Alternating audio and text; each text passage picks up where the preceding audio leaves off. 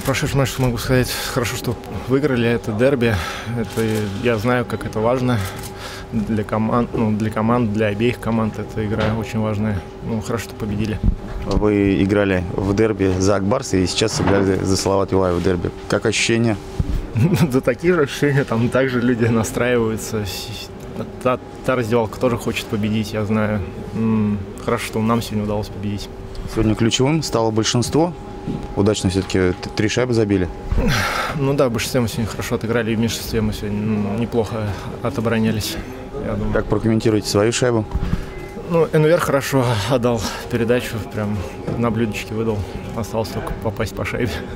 Химия вашего звена, в чем его секрет? Ну, Не знаю, тренировок.